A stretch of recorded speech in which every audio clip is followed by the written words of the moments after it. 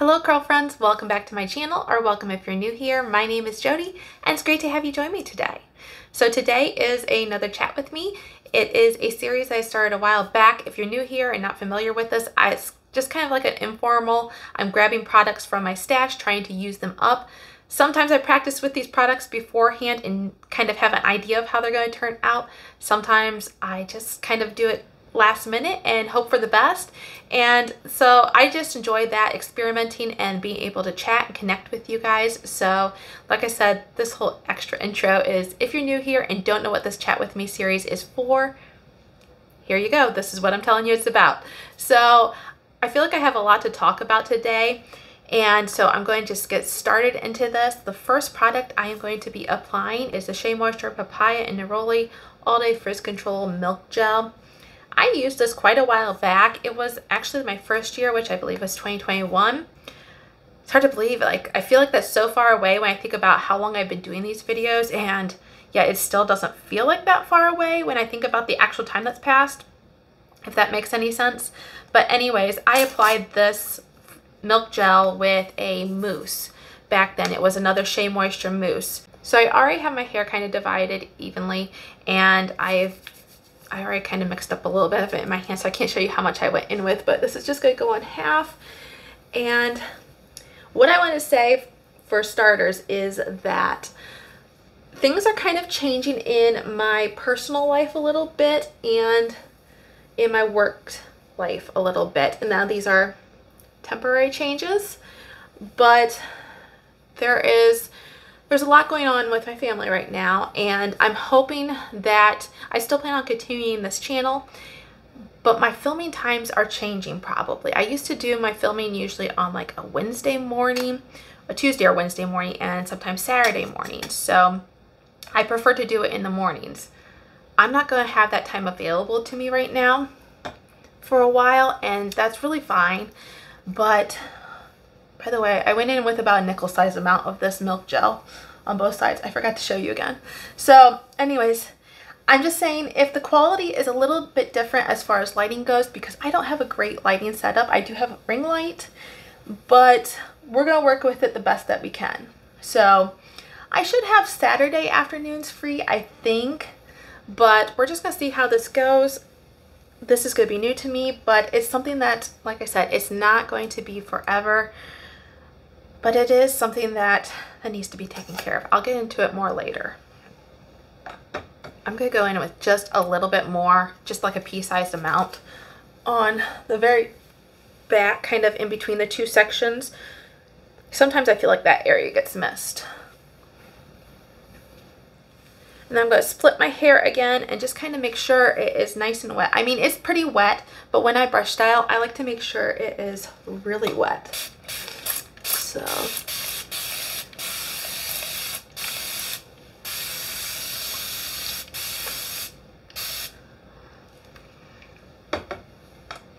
You know, it's kind of funny. I don't feel like I'm that confident in my brush styling but and I've had people really request that I show my brush styling like I said I don't feel that confident in my brush styling but the other day I tried to do a brush I tried to do a style without brush styling just because I wanted it to be quick and kind of hassle free and I'll tell you what I kind of freaked out about that I'm like I don't think this is gonna turn out and so I kind of did a little bit of brushing, but not really brush styling with it. If that makes any sense, probably not. It doesn't make sense as I'm saying it out loud, really. But I just, I just smoothed it over. Oh my goodness, there goes the clock. So if you hear that in the background, just, just ignore it, okay? And then after I smoothed it over with my brush, I just tried to kind of, you know, scrunch the products in, glaze and scrunch and, you know, use my fingers to distribute it and it turned out okay. It wasn't my favorite. Tell you what, I've been forgetting to bring my um my little pick that I have to separate my curls with. So I've just been using my hands then to kind of separate the clumps that I have. Anyways, the other thing I really wanted to talk with you about was another farming thing that this happened a while back. This actually happened in the fall of, it was 2022, so last fall. And it was just something that really stuck out to me that day. I don't get to farm very often. I don't get to participate in everything because I have like my regular job, my regular paying job. But farming is a part of my it's it's in my blood, you know, and it I really I really enjoy it. Do I enjoy it because I'm not in it all the time? Maybe. But that's something I feel like I'll have to experiment more with. But anyways, the part I was going to tell you is that during the fall season, when we're harvesting, um, either my dad or my uncle usually drive the combine.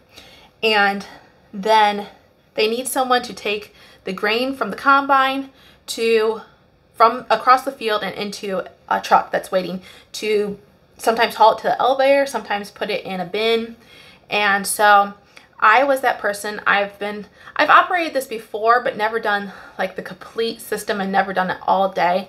So by the complete system, I mean, I'm in a tractor and don't ask me the tractor exactly. It's a Case International.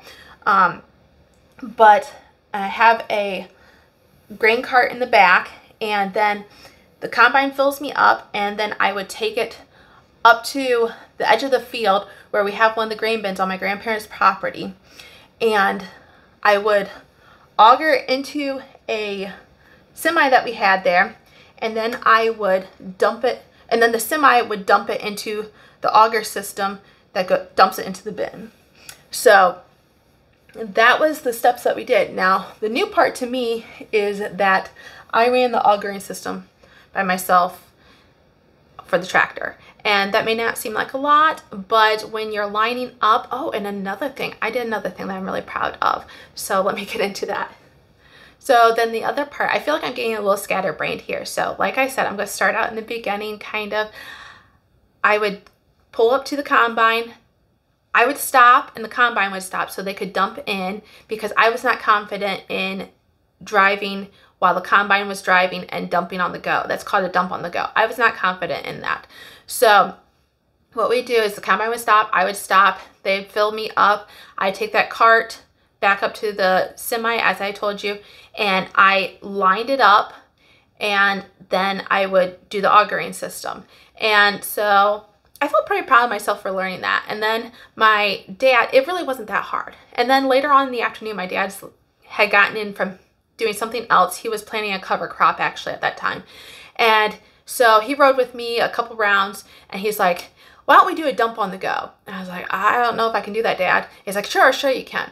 And so I really appreciate his confidence in me. It kind of makes it seem a little less stressful on me. I know my mom was terrified of doing that. So before I had that hesitation kind of built in, but my dad was very confident in it. So I did my first dump on the go that afternoon and I did it the rest of the afternoon and I was so proud of myself. So the combine could keep going keep harvesting the grain and we could just move a little faster. And I really like like that. I really enjoyed that really proud of myself. And but that really wasn't the whole point of this conversation to be truthfully honest. Let me get into the second product I'm going to be applying. Sometimes it's hard for me to carry on this conversation that I want to carry on with you because I like to talk with my hands and you know, when I'm doing hair products, I don't always get to do that. Second product we're going in with is another mousse this time. I chose a mousse because this has some cream-like properties and also has some gel-like properties in it. And then this mousse I felt like would be a good holding product. I wanted to previously do the um, Mielle. It was like a cream gel styling thing, the rosemary mint line. And I initially had those two paired up and I did the test to see, you know, if they mixed well. And I forgot how powerful that rosemary mint line smelled. I knew this smelled really powerful and it just, the scents clashed entirely. The products mixed fine together, but the scents were not good match. So we're going in with this. This is the, by the way, did I say what this is? This is the Peach and Black Tea Vitamin Infusion Mousse from the Mood, from the Mood Collection.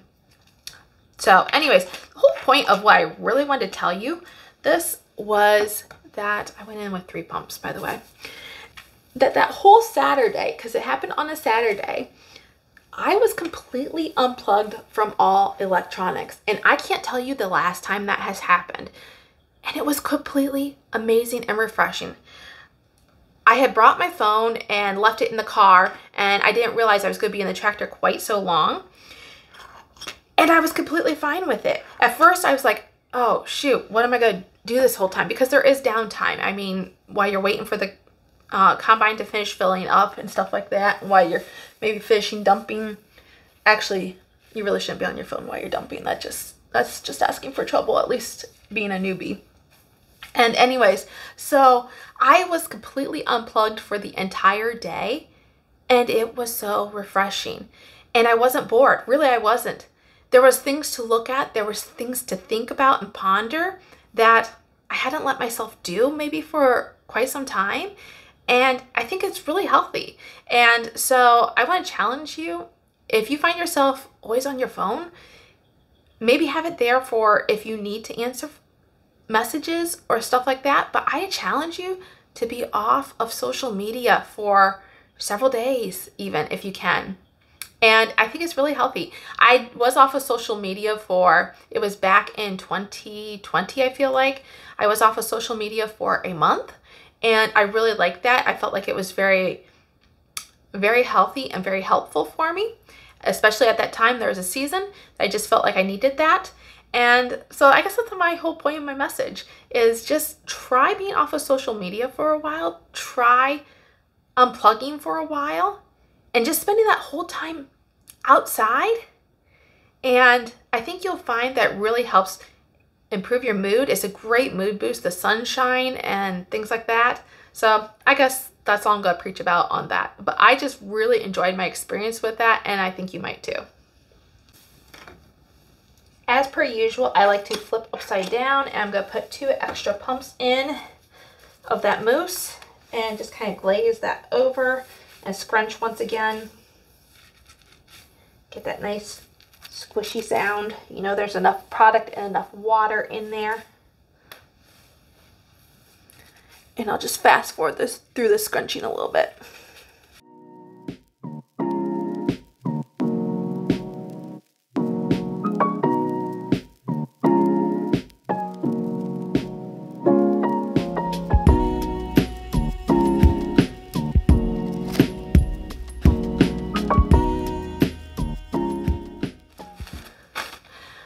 Have my shower caps on and I'm going wet plop as I have been doing. And I'm just going to leave this on for about 10, maybe 15 minutes. And I'll be back after I've diffused my hair. So I'll see you then. Okay, girlfriends, I am back. My hair is fully diffused and everything. And I'm just going to let you see this up close here. My curls are looking like. I feel like I have good shine, good definition, and so I really like that. However, my hair is more flat than I would like it to be, um, especially for using a mousse. This mousse has given me good volume before in the past. So, I mean, not it's not my most volumizing mousse, but it has given me good volume in the past. So I'm not quite sure what's going on. Maybe I used too much of the milk gel. I'm not really sure. So we are going to try to fix that. I'm not entirely sure this product that I'm going to use is going to be the one, but let me just show you what I'm going to use. I am going to use from that main Peach Mane Choice line the hairspray. One, I don't use this that often because I kind of like savoring it, but I love the scent of this. I feel like it's given me good hold before in the past. I'm not sure it's the most volumizing hairspray. Usually when I use hairsprays, I tend to use aerosol hairsprays. I'll show you what I mean here. Like I have these two here. Got2b Flex Insta Hold. This one is very light hold for me. And then I've been enjoying this Tresemme Extra Hold Hairspray, number four on the hold. So usually I'll go in with this one first and then later on in the day I'll back it up with this. And usually from there on out I'll use this one to just kind of add extra hold throughout my wash week. But I want to use this one, like I said, for the scent, for the fact that I used the rest of the line earlier. But I had someone ask me earlier in the spring, like maybe it was, it was early March, I think, how I used my hairspray, how I sprayed it on. And I told them that I would be including it in this video here. The reason why there's such a gap is because I film ahead. And I usually film about a month or about a month ahead in advance. And I've seen, as I said before, I have a little bit of a stressful situation coming up with some family issues and work and I could see this coming up. So I have been kind of filming a little bit further in advance simply because I want to give myself time to be able to do what I need to do in life and also here on YouTube. So forgive me for that. But anyways short story long we are going to show you how I apply my hairspray because I had someone specifically ask that question. So as I said, I usually use a aerosol hairspray, but I would apply a regular spritz hairspray the same way. First off, I like to flip upside down. And then I section my hair. I just kind of take my fingers here by my ears and I section my hair. It's nothing perfect, but I just kind of take and separate the front from the back. And so I try to target this area and this area a little bit.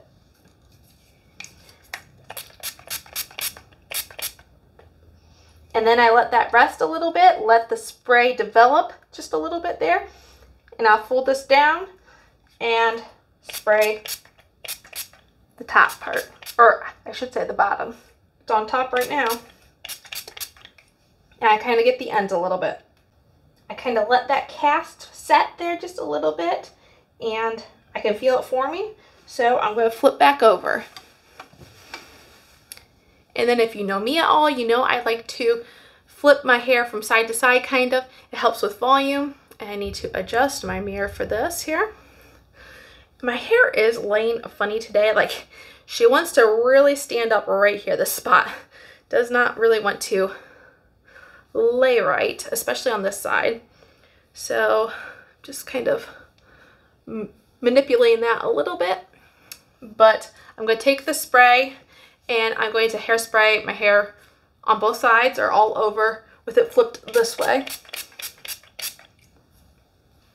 I'm probably getting hairspray all over this back wall here. I don't like that idea, but oh well. Once again, let that set just a little bit, and then I'll flip over to the next side and finish spraying there. Okay, it has set. I am skipping forward just like fractions of seconds while my hair sets, just so there's not like these awkward legs in there, but just know that I am letting it set a little bit more than you can see.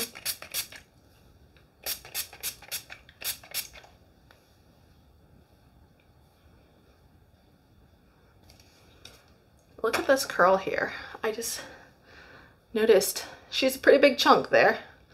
Normally I wouldn't separate white right while I'm hairspraying, but that's a little bit more aggressive than I want it to be.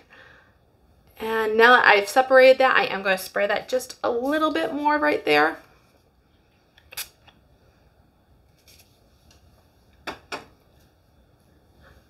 Okay, my hair now has a slight cast on it, and I like that. That gives me the impression that should hold up through the rest of the day.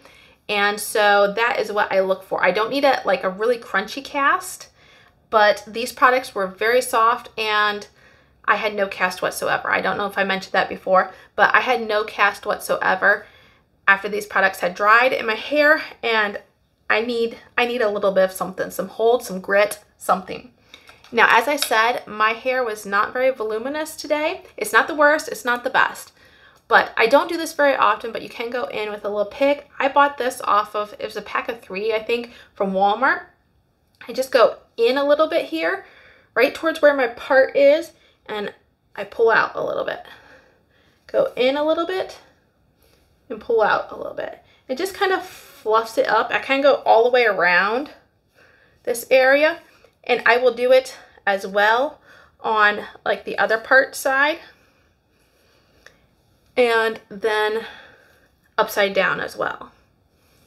Just kind of get into the root there and lift. Like I said, I don't do this very often really. And you have to be careful, I feel like, because you don't want to pull your hair out. Sometimes I feel like it can feel a little tender on my scalp when I do this. Not all the time. Actually, this is the only time I really recall having this happen. feeling a little tender there when I'm doing it, but just be careful. Okay, when I'm upside down, rather than going like this and lifting, I'm going to go backwards, kind of almost against the grain in a sense. I'm going to dig in here and lift.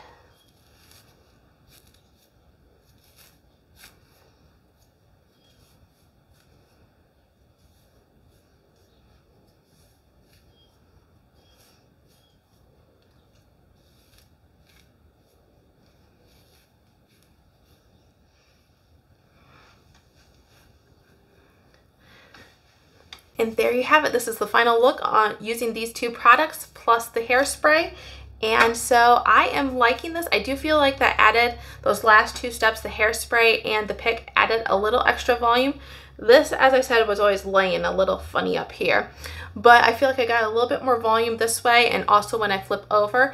Let me show you the back of my hair though. Let me kind of get this so it's laying decently in the back and I'll turn around.